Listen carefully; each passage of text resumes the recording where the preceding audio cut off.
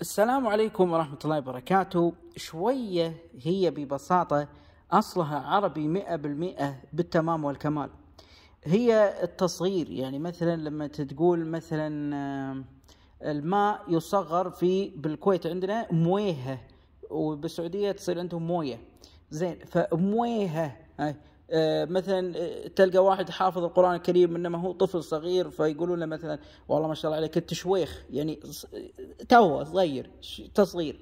فالعرب يضيفون الواو ويضعونها في منتصف بعض الكلمات وليس الكل من أجل التصغير يعني.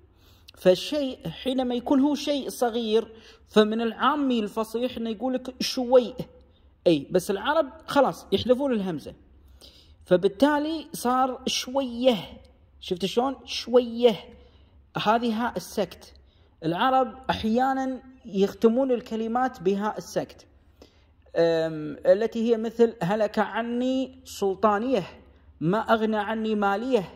طيب لو هو يقول هلك عني سلطاني فهمت إن سلطانه هو اللي هلك. هلك عني سلطاني. المعنى واضح صحيح.